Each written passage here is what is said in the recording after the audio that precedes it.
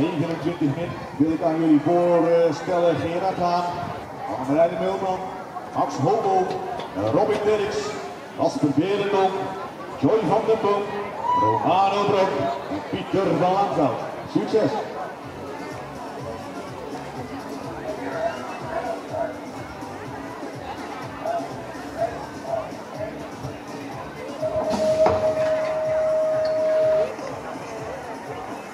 Rick Kloeski pakt er een volgende val in van Langveld is die daar dan de snelste is. En die is eerst is de blok uit top. Maar hij heeft niet gewonnen. Want we zien Amersfoort met de meekom is dat een Romano Blok. Ik denk het wel dat het Romano Blok is op die tweede positie. We gaan het meemaken, we gaan het zien.